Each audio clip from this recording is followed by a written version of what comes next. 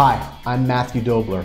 I'm an attorney in Pittsburgh, Pennsylvania, with today's 60 Seconds for Safety tip, which is that gloves save lives. This tip comes from one of my favorite teachers in law school. Professor Leitner used to always say that when the elderly don't wear gloves, they put their hands in their pockets to keep them warm. When they put their hands in their pockets, they can't use their arms to balance themselves on the ice. When they can't use their arms to balance themselves on the ice, they fall and break their hip, which leads to them being laid up in the hospital, which leads to them getting pneumonia, which leads to an infection, which leads to their untimely demise. So buy your grandmother a pair of gloves. It could save her life.